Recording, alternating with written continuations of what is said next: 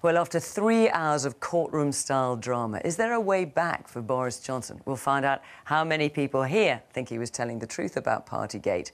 Is there a way back for him to frontline politics?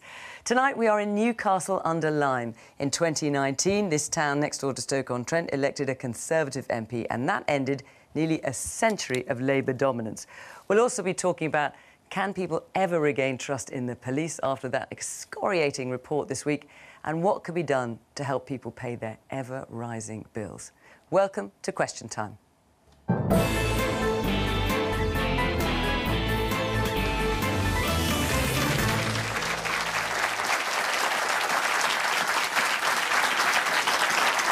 On our panel this evening from the government, Andrew Bowie is in the Department for Energy Security and Net Zero. Indeed, he's the first ever nuclear minister having been appointed last month. Prior to his election to the seat of West Aberdeenshire in Kincardine in 2017, he was an officer in the Royal Navy. When Louise Haigh was elected as MP for Sheffield Heeley in 2015, she was the youngest Labour member at only 27.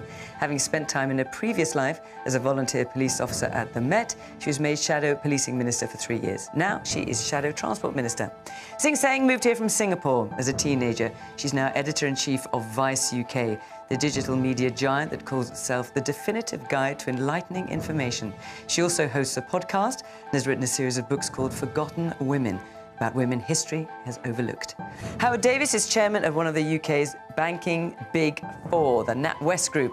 His impressive list of former roles includes Deputy Governor of the Bank of England, Chair of the Financial Services Authority, and former Director of the London School of Economics. He's also the author of five books. And Tom Newton Dunn was political editor at The Sun for over a decade. He then worked for Times Radio before he moved into his current role as political presenter at Talk TV, where he counts Jeremy Kyle, Vanessa Feltz, and Piers Morgan among his colleagues.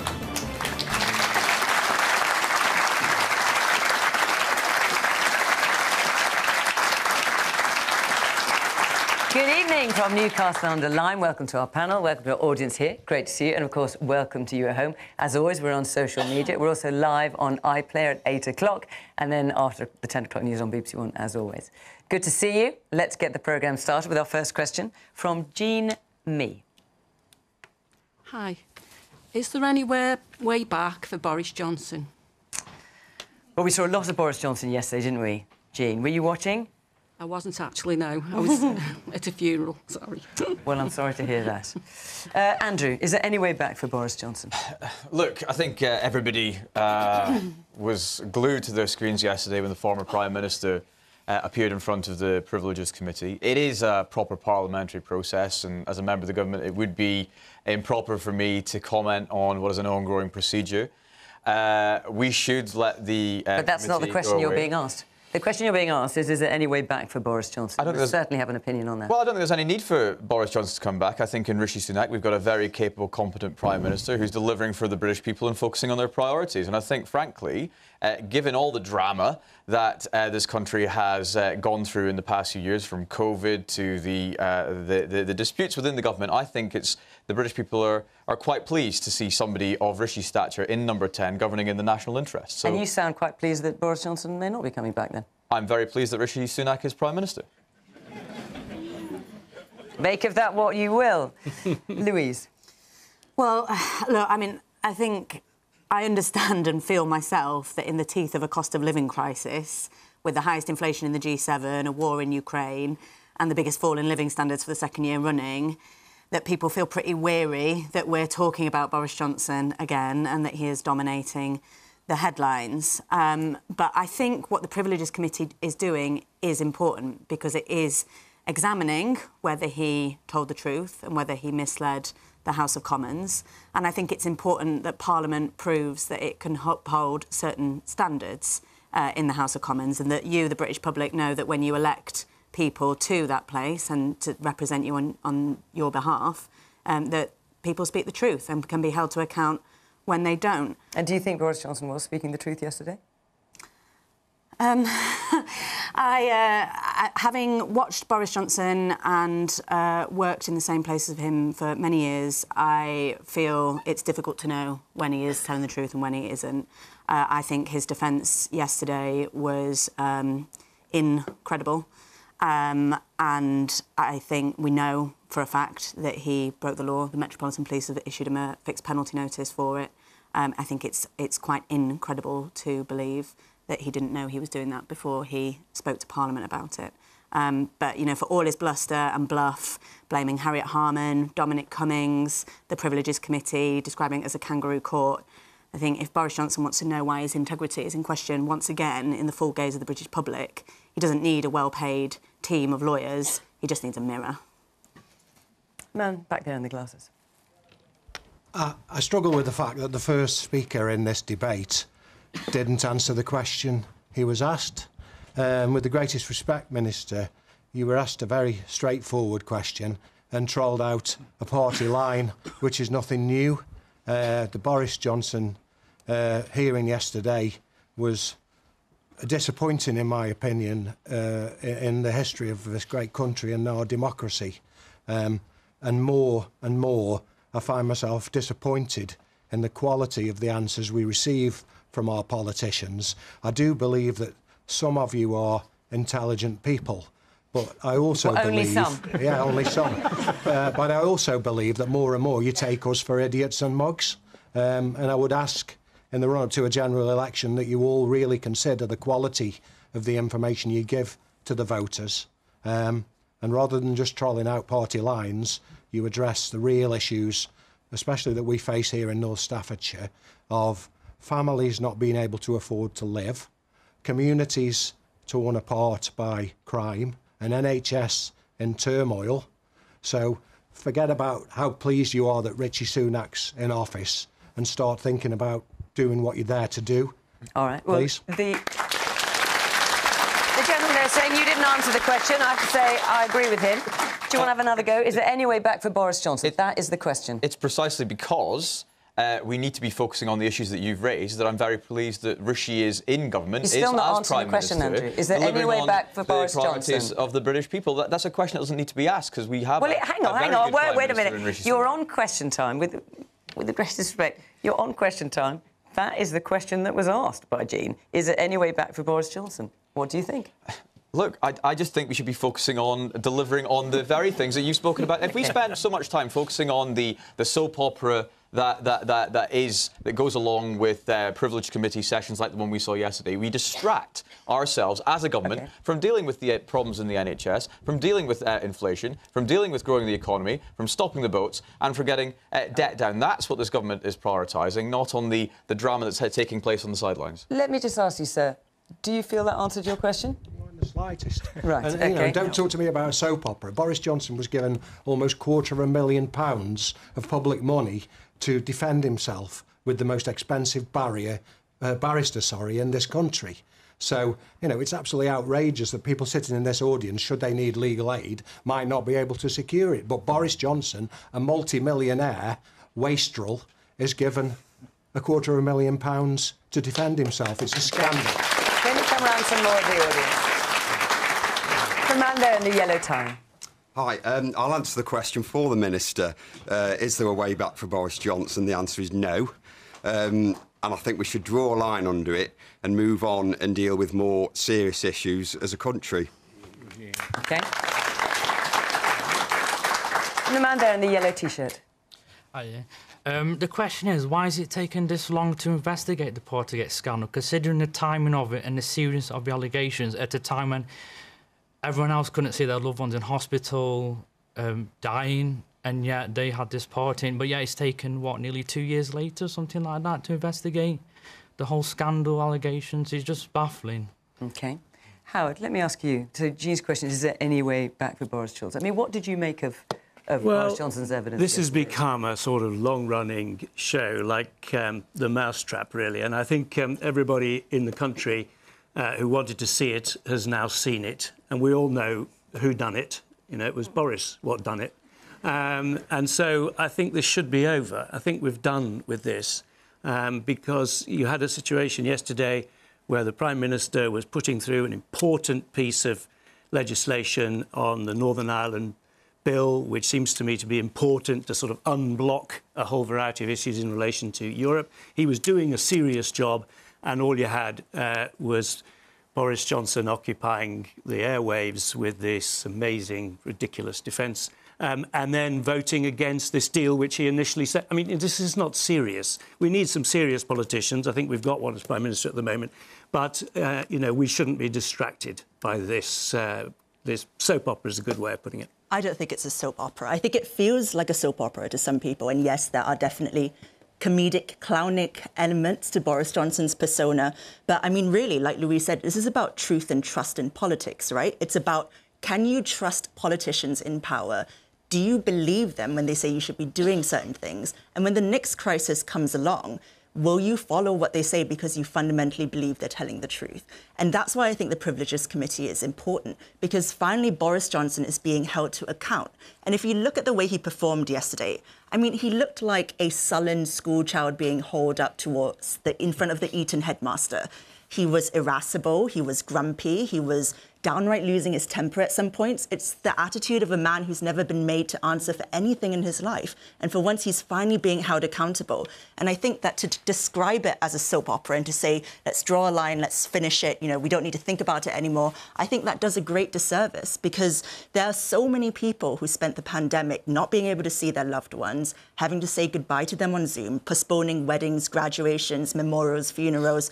Those people deserve to see someone being held accountable for the things things that they said and didn't say during the pandemic. And I think, to be honest, this Privileges Committee is probably as good as it's going to get. OK. So, Tom, I mean, the question is, is there a way back for Boris Johnson? And Boris Johnson at one point was described as you know, the Heineken politician. He reached parts others couldn't reach. He got an 80 majority. He was twice elected as London mayor. And, and now we have him in front of this Privileges uh, Select Committee. Is there a way back for him? So the thing about Boris Johnson is, I pretty every much pretty political journalists that exist have written him off. I think I personally written him off three times. Uh, then he became prime minister with an 80-seat majority. So, although I really don't think he's ever going to be prime minister ever again, I would never say never about anything in British politics other than Boris Johnson because he has this weird way of bouncing back. That said, there was a really interesting poll uh, out this evening on whether the British public thought uh, that he had misled Parliament, which is why he's front of the Privileges Committee. 66% said yes, they think he did. And do you know what? The same question was asked on Monday. 66% said the same thing. It feels to me that the public have made up their mind on Boris Johnson. Tory MPs have made up their mind on Boris Johnson. Only 21 of them followed him through the division lobby on the big Brexit vote yesterday. Uh, back in the day, it was hundreds doing that. It's often said that red wall seats, which Newcastle under Lyme is, is technically one of them. You were a Labour seat, you've gone Tory now. His great support is here in the red wall. And you're the presenter, Fiona, but we could do a quick straw poll to see how many of the audience well, think Boris Johnson could well, come back. Let's, let's, let's just think about this for a minute. I mean, we can do a poll. It's not scientific. I want to emphasise that. There are more people in this audience, because this is where the question time audiences are constructed, if you like. There are more people in this audience who voted for Boris Johnson uh, for the Conservative Party than for any other single party here. So let's have a show of hands, shall we? Who, well, who believes Boris Johnson was telling the truth yesterday? wow. Okay. Wow. who believes there is a way back for Boris Johnson now? Right, one hand. So let, let's hear from you. It's like them saucepans, and he? Nothing sticks to him, so he's probably going to come back anyway. I mean, uh, uh, Howard, it's interesting uh, in terms of a unanimous vote here. As I say, it's not scientific. I don't want to overstate the importance of this, but it's pretty telling nonetheless, given the makeup of this audience that no one believes he was telling the truth yesterday. Now, you had experience of working with Boris Johnson. Does, does that surprise yes, you? Yes, no, it doesn't surprise me, I'm afraid. I mean, I did, and uh, we had a difficult uh, relationship, which I would acknowledge, because I was, we're doing some work on airports, and my conclusion, my commission that I chaired, was that we should expand Heathrow when further expansion was needed. And uh, Boris Johnson wanted an, an island in the Thames. This was Boris Island, if you remember. So we weren't going to agree. Uh, but that's one thing. We can disagree uh, but the alarming thing was that you know he you would go and see him and tell him something, and then the next day you're listening to him on the radio, and he's telling the radio listeners that you told him something else, something completely different. It's quite alarming actually when it happens to you personally. So I do find it. Um, I mean, I, I think Cheng is absolutely right that this is serious, and we need to know the, the answer to it. Uh, because it is rather it is rather concerning when it happens to you personally. I didn't like it one bit. Okay, let me hear a bit more from our audience. Yes, the person over there. I can't see what colour's up with the blonde hair. Um, I think I, I think it's quite a shame we're still talking about Boris Johnson at this point because because Parliament isn't built on the on, on, on the banks of the Thames. It's built on the trust of the people. And with the amount Boris being in the news for scandals, Partygate, uh, the appointing the chairman of the BBC, um, people are not just losing faith in Boris or the Conservative Party, but they're losing faith in ministers in general. Like the fact that earlier we had someone laughing about a, a, somewhat scripted response uh, from, from, from Minister over there. It's, it's a shame that that's how it's gotten now. Politics is no longer a serious, serious topic which controls the, how this country is, is headed. It's become more of a joke in the eyes of too many people. Okay. The man here in front in the, with purple tie, yes. Well, just a quick answer to the question Did I vote for Boris Johnson? No. I actually voted to keep Jeremy Corbyn out. And that's the only reason I voted for the Tory party. And the other quick thing to the gentleman there, I'm terrible with names. If you can't answer a question, there's a very simple answer in the North keep your gob shut. Would you like to come back to that, Andy? Or would you just like to keep your gob shut?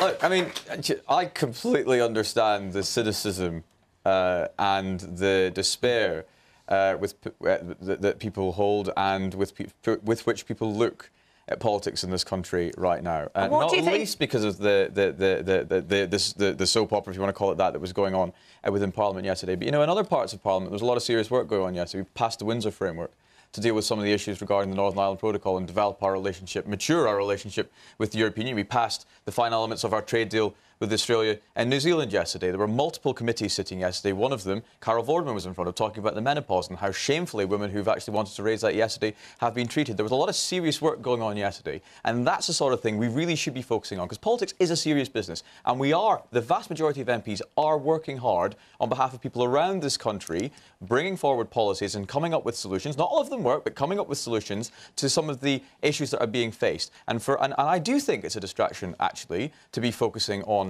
what was said in that privileges committee yesterday and whether or not Boris Johnson has a, uh, could come back in some uh, way or form. I stick to my original answer at the very beginning of this show. There is no vacancy. Rishi is doing a stellar job as Prime Minister and we're getting on and focusing on the priorities of the British people, which is what we are elected to do.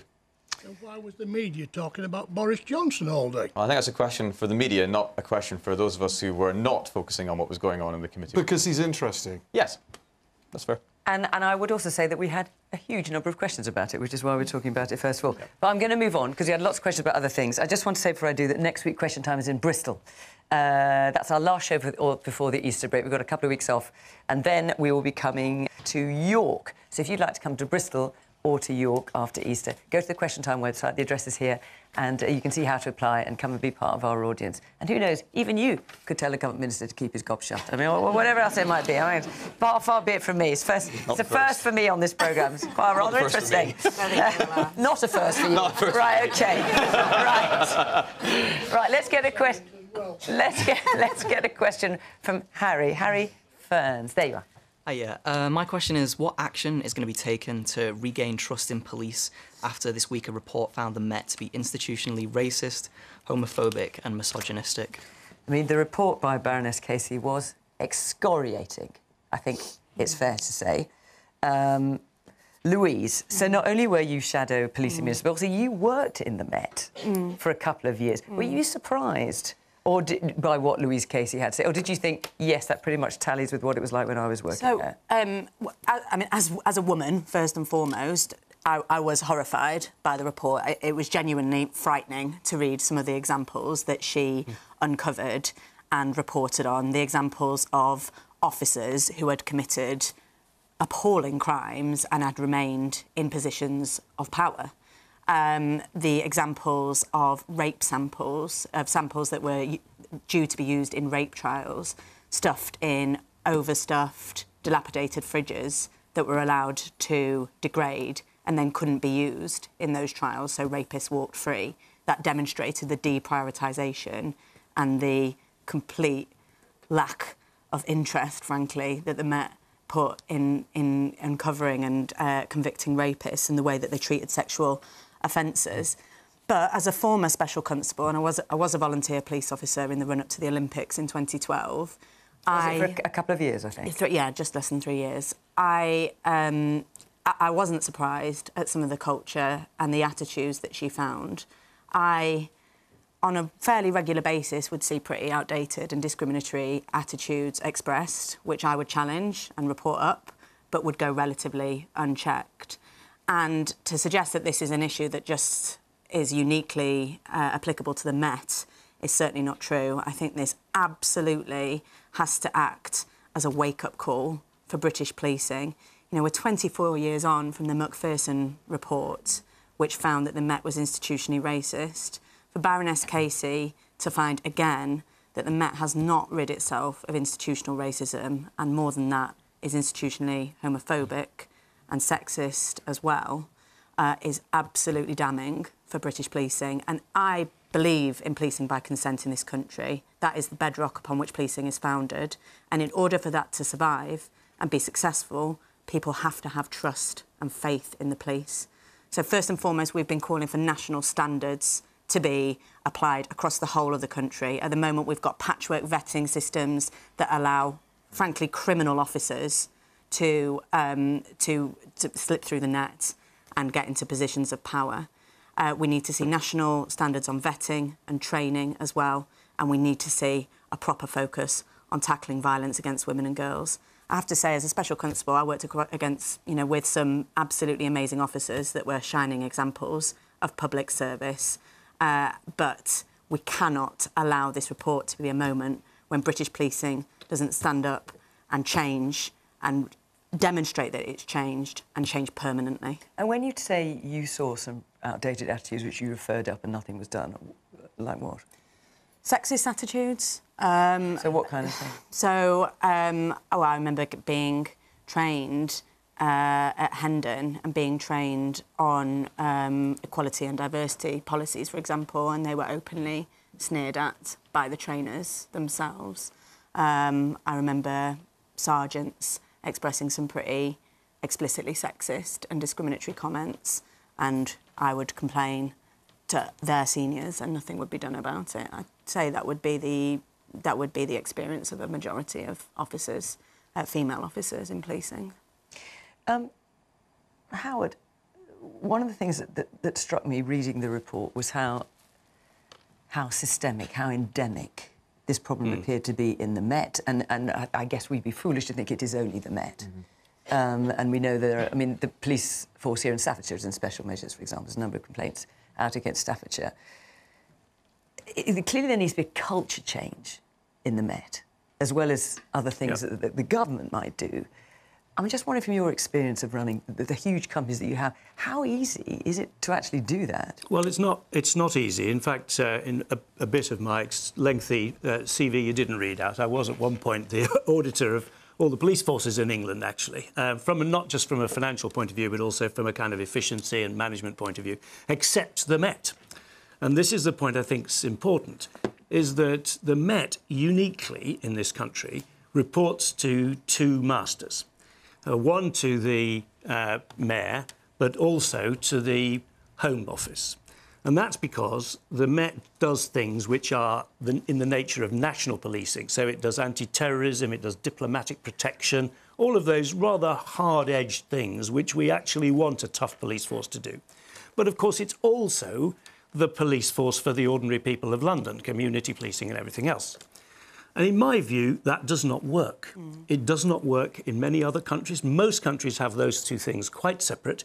You have the FBI in the US, which is quite separate from the policing of, of New York, for example.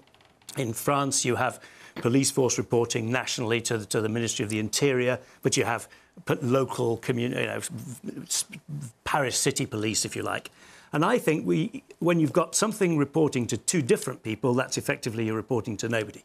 Uh, and, you know, we saw the previous arguments about who should be the boss, and the mayor wanted to keep her on, and the Home Secretary didn't, and then it was the other way around. It was hopeless. So I really do think that, whilst I completely accept that structural change is not always the answer, I think it would be a real shock to the Met if they were broken up. and I think it can be done. There are plenty of international models how it would be done, and that possibly could be the shock that delivered cultural change uh, as well. I think without anything else, I think the Met must be sort of saying now, you know, we're another of these bloody reports. They'll forget about this one like they did the last.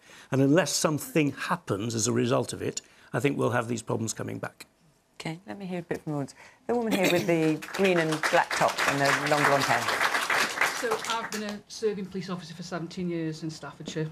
Um, right, so you're a police officer? I am. Yeah, so we're in very interested to hear from you. Yeah.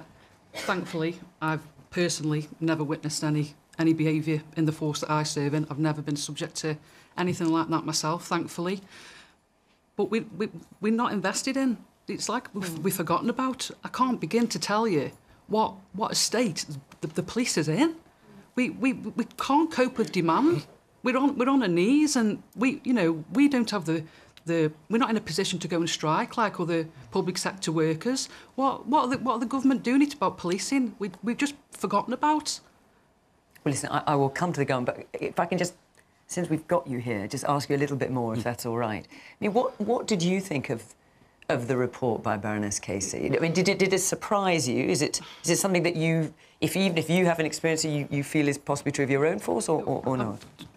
I'm not so, you know, blind as to think that these kind of things don't go on. We'd be foolish not to think that they do, and it's it's toe curling. It's it's it, it's heart wrenching to think that you know, for for for the vast majority of police officers that are out there, they're, that are decent, hard-working people that join the service. That they, they want that's what they want to do. They want to serve the public, and and we we can't. Our hands are tied. I don't think I don't think ministers know what what an actual state we are in. It, And that was what Baroness Casey found as well, that London didn't have a functioning model of neighbourhood policing anymore. It had been cut back so significantly that there essentially wasn't any neighbourhood policing. There is no neighbourhood policing. Yeah. There is no neighbourhood policing. You can say there's neighbourhood policing, Yeah. but when but when there's when there's calls coming in that we, that police can't resource, Yeah. there's 999 calls stacking up. Mm. There's no neighbourhood cops. Then neighbourhood cops are being sent to them jobs. Yeah. There's hundreds of there's hundreds of incidents every day that we don't get to. We have time parameters of when we're supposed to get to them. They sat there for two three weeks sometimes. Yeah. It's soul destroying. Andrew. To address the report first and then to the specific points about the police, I think none of us reading uh, uh, Baroness Casey's report yesterday were anything other than shocked. Uh, I think some of the systemic uh, failures uh, within the Met Police, failures in culture, failures in uh, best practice, uh, were... Institutional, would you use that word? Because that's the word that Baroness Casey uses. Baroness Casey did use that. Um, it was a full report, and you know we need to take our time as a government to uh, fully uh, develop a full and proper response. Do you endorse that Prime word? Minister, the, the Prime Minister has already taken action uh, to So let me just, just the be clear. the word institutionally racist, homophobic, misogynistic. Do you do you back that?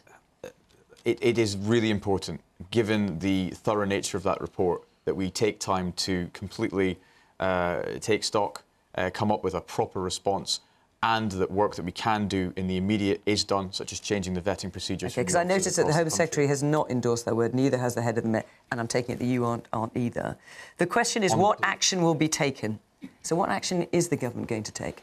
Well, as I said, we're already changing uh, the vetting procedures for recruiting new officers across the, the, the country. It's really important that within the Met, uh, uh, uh, uh, particularly, there there is a change of culture. I think that is, you know, a discussion to be had between the Home Office, the Mayor of London, and the Met Commissioner.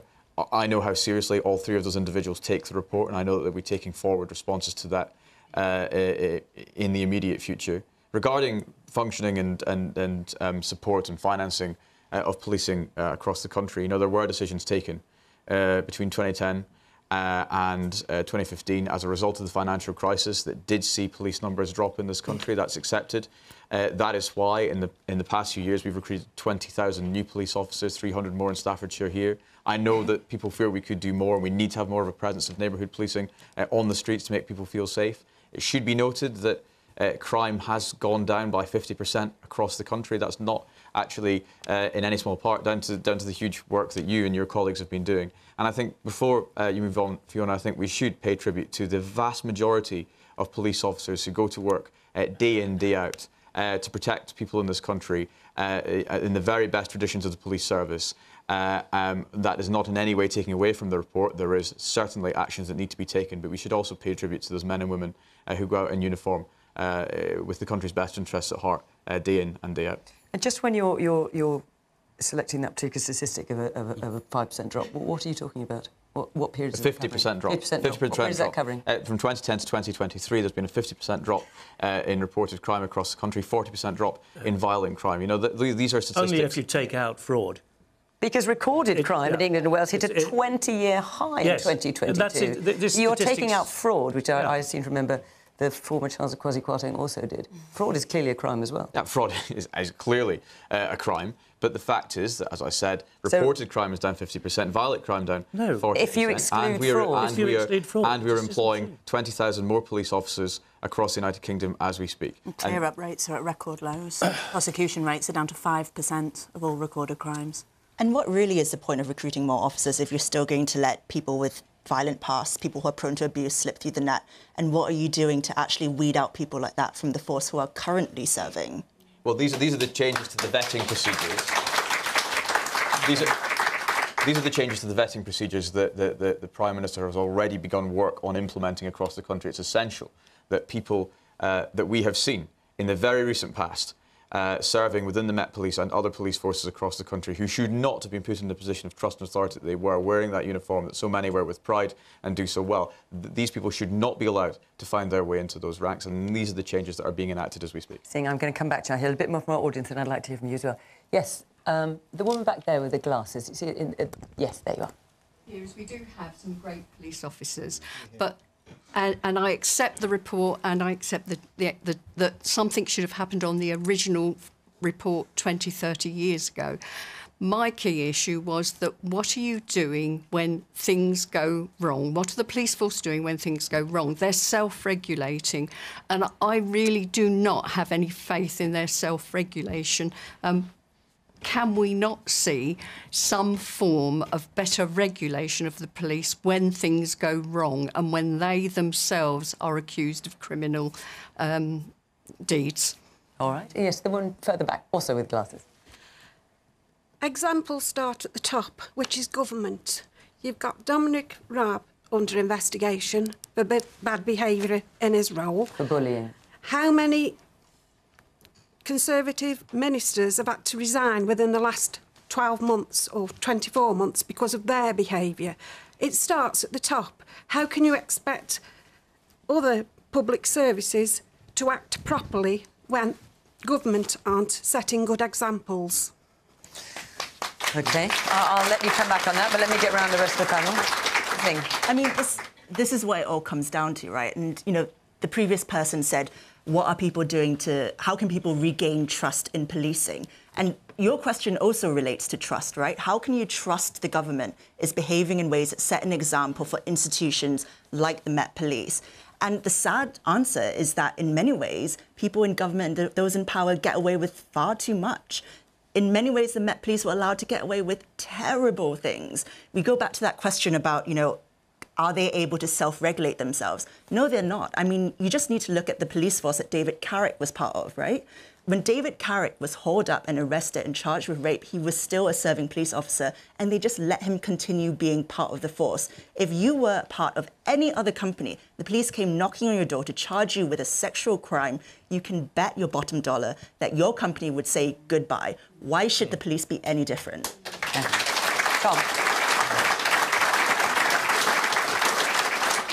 Uh, so, to, to, the excellent point, you know, who is looking at these people? Where is the regulation? There's a really simple answer. It's called the politicians who we elect to police our police force. And Sadiq Khan has been London Mayor for six years, throughout which we've known how bad the Met has been. If we just concentrate on the Met here, Staffordshire Police, uh, I know less about, but have nothing wrong about at all. The, the well, the Staffordshire Police are in special measures. Uh, in, in, which case, I've just learned something. There you go. Uh, the government's been in, in, charge for 13 years, and they have known ab about the problems in the Met. The Met's problems go back to the Macpherson report 24 years ago. And I, I tell you, the, the most disturbing thing I heard all week uh, about this, in light of the, the, the Casey inquiry, it was something that Theresa May, former Home Secretary and Prime Minister, uh, said to a couple of Conservative MPs uh, in the House of Parliament earlier this week when they asked her, well, Why didn't you reform the Met? You knew how bad it was when you were Home Secretary. Uh, and she said this, and I'm just reporting what they said to me. It wasn't a battle I could win. What she said was the Met are so big, so powerful, so big in their briefing with journalists and everybody else. If we in the Cameron government took them on and tried to reform them, uh, they'd have killed us. Now, that to me makes me completely agree with Howard. When you have an organisation that is too big, too powerful to be taken on by a government, by a Home Secretary, it's time for them to be split up. You hive off the specialist measures, the national measures, the counter-terrorism, the firearms to a national force that can be properly scrutinised, and you let London police get on with policing London and going back to service, which seems to be a word that's completely disappeared from their vocabulary. Okay. Andrew, I'm going to let you come back. So the, the woman back there. And also, in terms of the question is what action will be taken. You're, you're saying, well, we're taking the action already. Is that it? No, no, no, no. We're, we're taking action. Uh, we were taking action before the report was published uh, to resolve vetting and some you can other do anything issues. else? Uh, the, the, the Home Office and the government as a whole are considering this report, and that is absolutely right and proper. It is a full report. There are a lot of recommendations in there. It is right that the government takes time to come to a conclusion and to come up with a, a full response uh, in due course. Uh, to respond to the lady's uh, point, I mean, when uh, ministers, members of parliament are accused of wrongdoing, as far too many have been, uh, uh, I would agree. Uh, in recent years, uh, the practice is to withdraw the whip. There's an independent investigation into that wrongdoing, and if they're found to have committed a crime in a court of law, they are subject to a recall petition. And they could be stripped of their job, and they could be replaced as MPs. And that has taken, that has happened actually two or three times in this Parliament alone. That is the right course of action to take.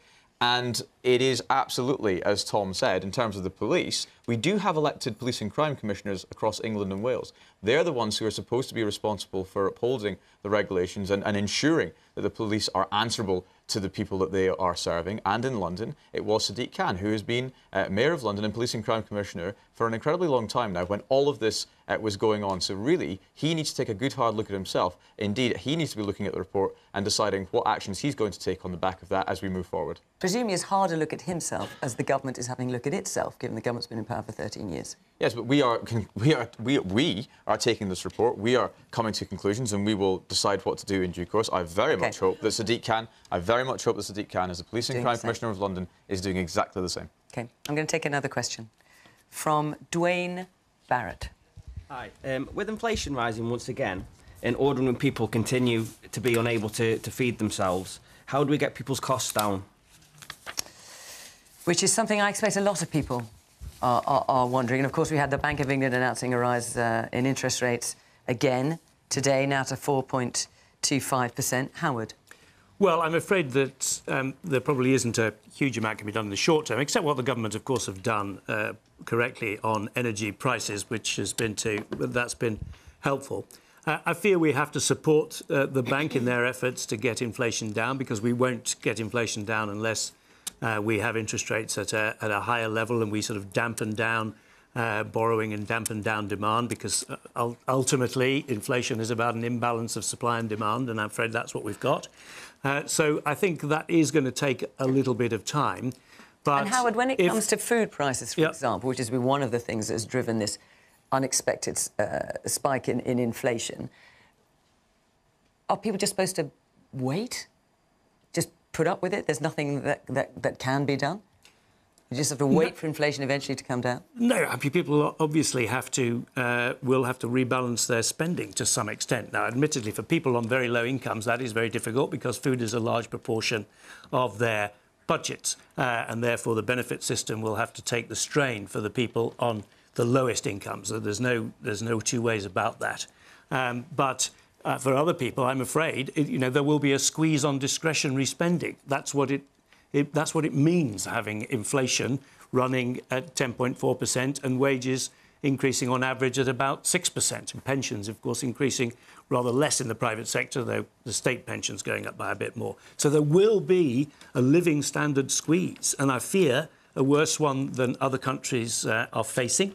Uh, and that part of that is to do with the sort of political turmoil uh, we've had and the pound falling post Brexit and a whole variety of issues have got us into a worse box than other people. But I'm afraid it's going to be a painful year, and I think anyone who tells you it's not uh, is not telling you the truth.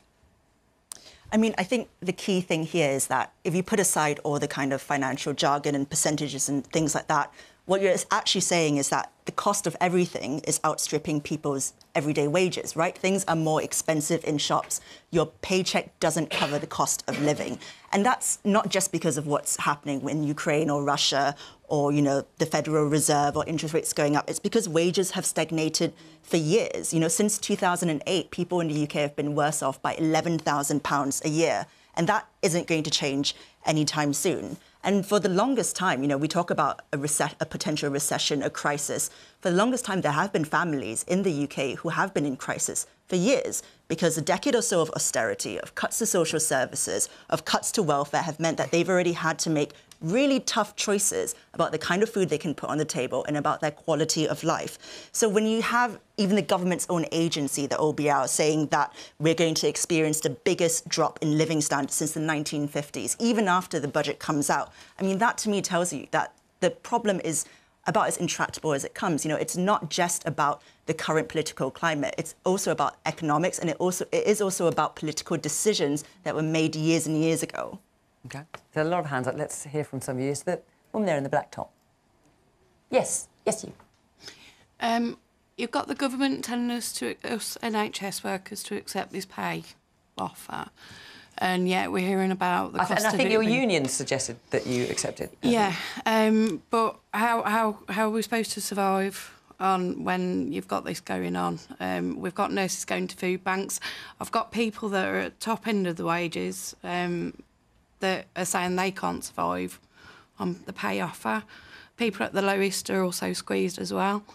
Um, we're told that we go to university, we work our way up, and you'll get rewarded, but it's just not happening. So how how do we survive? And, and, what, what changes have you had to make with, with the? Um, the I've had to swap to cheaper cheaper supermarkets. I have to travel to a community store, um, and that takes about an hour and forty five minutes to go there and back. Um, I've had to go second-hand shops. We're, we're terrified the rent's going to go up. Um, I've- I'm paying extra for fuel to go see people. Um, my husband, very good job. He's absolutely terrified of anything else going up. Every month he's asking for more and more. I just haven't got it. And can I ask you, what do you do in the NHS? Um, I work in the community with patients. Okay. Well, thank you. Yes, the woman there with the red hair and the black glasses. I run a local charity in the area and I see firsthand people that come to use my food bank and my social supermarket. You spoke about discretionary spending. There are many, many people that do not have discretionary money to pull back on. There's nothing more that they can pull back on other than food. That's the only thing. We supply emergency food parcels. Last year, an emergency food parcel for four days was costing us, we bought it from the supermarkets, £7.80. That now costs us £14. It has nearly doubled. People cannot pull back on anything. There is nothing to pull back on. So the fact that inflation is raised again, what are people supposed to do? It's a joke. Okay. And the woman, uh, yes, a bit, bit further along with the. Yes, with the, the pink scarf and the. Me? Yes. Uh, I just want to kind of say that obviously people can't afford to save anymore. They are, like this lady's just said, already kind of on, you know, got no money left before. And also how the, that's going to impact on people's long term health and how we're going to need more health services because they haven't been eating right and haven't had a good standard of life. So, you know, we're not doing the future any good now by not giving people the resources they need to eat properly. So, what would you like to see the government do? I would like them to give people more food vouchers. I don't think necessarily need the money. They need the food vouchers because that's a really important thing that people have a good diet. So give people that money to help them. You know, uh, those people, like that lady said, have already got nothing. So they need something now. You know, they've got nothing to crawl back on. They were already doing that before. I would also add to that rent freezes. You know, if not a rent freeze, make it harder for landlords to pass on the increasing cost of their mortgage repayments onto their tenants. You know, there needs to be tighter regulation of the housing market so people don't live in fear of being evicted if the rent suddenly goes up by 150%, which is what's, you know, currently happening in places like London. So if you just took away the amount of rent that people had to pay out of their paycheck, that would go quite a long way towards covering the rest of the month. Your, your point about uh, the cost of food, uh, I think, is absolutely spot on. It, it's horrific. So the inflation figures yesterday, tragically, we're on the way back up now, up 10.1 to 10.4% yesterday. That's a worry for everybody. Food was the single biggest gainer, 18% up year on year. A jar of Nescafe instant coffee costs eight quid now. It is terrifying. How, what do we do about it all? So it's a global problem. We know why the war in Ukraine, the energy crisis, the knock-on from COVID, etc. But I do think we have to be honest and say we've got a particular problem with costs inflation in the UK. We're at 10.4% now. Europe's about 8.5%. The US down to 6%. They're both dropping. So you know, what is so bad about us? And I think there's a number of uh, answers, which I won't give you an economist essay on, but in, very briefly. Uh, we've got a particular supply chain bottleneck because we're an island. We pay a massive amount of tax. 37.7% of GDP now is our tax burden, the highest since the Second World War. Getting people's tax down could help. But let's open the Brexit can just a tiny bit, shall we? Brexit has not worked yet. If we got Brexit to work a little bit better, we could get food in cheaper, and then costs of food would go down a little bit. Okay.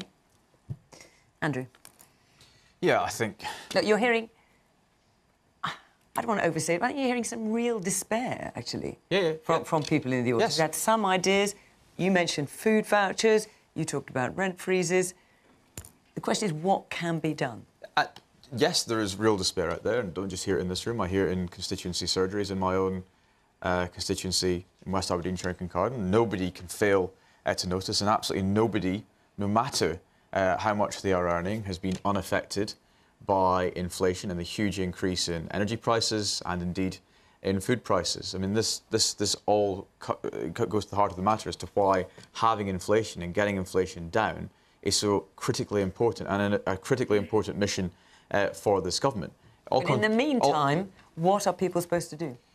I mean, the, the government has taken huge steps to support people paying half of everybody's energy bills uh, through the winter, plus 90 billion pounds committed in the last budget to support people who are really struggling uh, in this country. The, the, the, the, the, the, problem with food, it all comes back to the cost of production. And Tom's absolutely right. We, do, we are in a unique circumstance uh, as an island. We import a lot of our food uh, into this country. We need to drive down the cost of production. That means getting energy Brexit prices, well. getting energy prices uh, heading south. I do think that we need to make uh, Brexit work. Uh, for the United Kingdom, I do think we need to do what we can to, to smooth the import-export journey into this country. In fact, this government is developing uh, plans right now to do uh, just that. But uh, you know, in the immediate, I, I, I, hear these concerns back home. I hear these concerns across the country. I hear them uh, tonight. I'm very pleased that we committed 90 billion pounds to support people.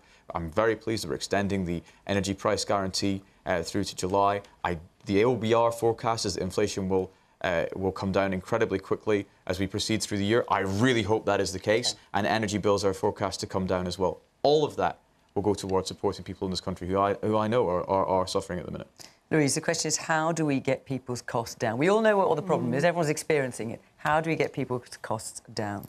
Well, um, I just let me just say, just at the start, I, you know, I think about a couple of people that I've helped this week, and the point the lady there makes about the shadow that poverty can cast over an entire lifetime and the impact that it has on your health, your life expectancy for your entire life. I thought about that very keenly this week when I was helping um, a, a, a, little boy who had um, alerted his head teacher that he'd not had a bath in three weeks because his family couldn't afford to dry the towels, couldn't get the couldn't get the towels dried in his house because they couldn't pay their energy bills. I was helping another woman who was potentially made homeless because she, was, she couldn't afford her rent anymore. She was, she was being evicted from her private tenancy, and we managed to get into a council house. But these are stories that are being told and being experienced right across the country at such an extreme level at the moment. And as has rightly been said, there are global factors. Uh, there is the war in Ukraine and there is the long shadow of COVID.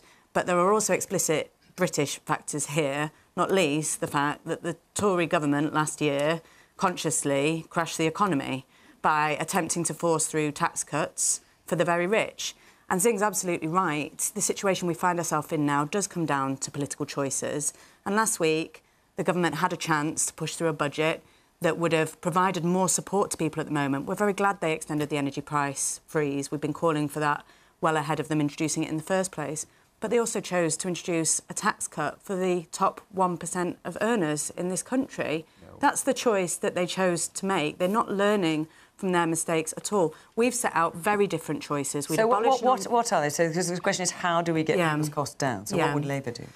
Well, we would, I mean, obviously a very important point is, is the um, price fees at the moment. Tom's absolutely right. We need to go from getting Brexit done to making Brexit work. So we need to reduce some of the barriers to trade in order to um, improve the supply chain bottlenecks. That's really important. We would increase the minimum wage to a real living wage that genuinely reflects the cost of living. And my colleague Bridget Phillipson has been campaigning for some time to abolish the non-dom tax status in order to provide free breakfast clubs for every primary school child because it is an absolute disgrace that children are going hungry to learn at the moment. I'm going to take one last question. Forgive me, because I know there's lots of hands up, but a lot of you asked about this other question as well, so I'm just, I'm just going to try and squeeze it in before the programme closes. It's from Jermaine, Jermaine Lennon. Um, so, with the United Nations warning again that, that this is our last chance to save the planet, are we doing enough? So, the United Nations warning again, as you say, Jermaine, this is our last chance to save the planet. I mean, the IPCC, the, the UN body, said in the very near term, global warming is more likely than not to reach 1.5 degrees centigrade. And they are calling for net zero plans to be brought forward by a decade to 2040. Are the, in the UK, uh, for example, is currently 2050. Are we doing enough? Zing. No, we're absolutely not doing enough. Um, and I think what's really heartening, actually, about the IPCC report is that, yes, it acknowledges that we have enormous cause for alarm, but also that we have the tools and the technology already in hand to arrest climate catastrophe. And it makes a very deliberate choice to reject the kind of pessimism that I think hearing headlines like this makes us all feel, to try and empower people to say, actually, no, we have a real shot at changing things. You know, renewable energy is already nine times cheaper than gas. Why are we still relying on gas when we could just switch to renewable energy? And I think when it comes to questions of net zero, are we going to hit that by 2050? Not with this current government, we're not, because we only have a third of the policies in place right now that we need to hit net zero.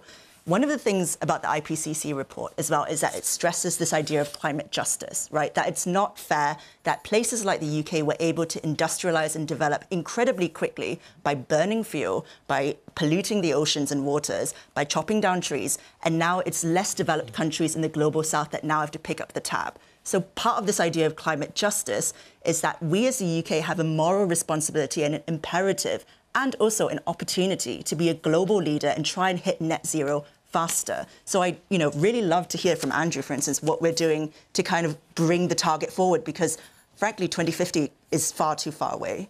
So, as the minister in the Department for Net Zero, and you're the nuclear minister, yep. Uh, do you agree with this uh, recommendation by the UN that we bring the target for net zero closer to 2040? Uh, I agree that the world should be moving faster and investing more in clean and green technologies. In fact, they should be following the UK's lead. We were the first country in Europe to legislate for net zero. Some of the incredible technologies that are coming on stream that I see on a daily basis will be transformative in That's terms of our carbon. Uh, do you think emissions. we should go for 2040?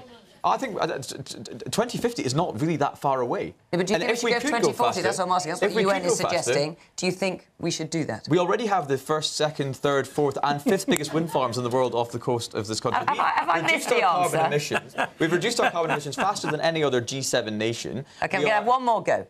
The UN is suggesting that all countries should bring forward their net zero plans to 2040. Do you think the UK should do that? If we can go further and faster than we should, but we are already going incredibly fast and leading the world right now, and I wish other countries would keep pace with us. So are we doing enough? That's the other question that Jermaine's asking. Are we doing enough in this country? Absolutely, and there's more to come.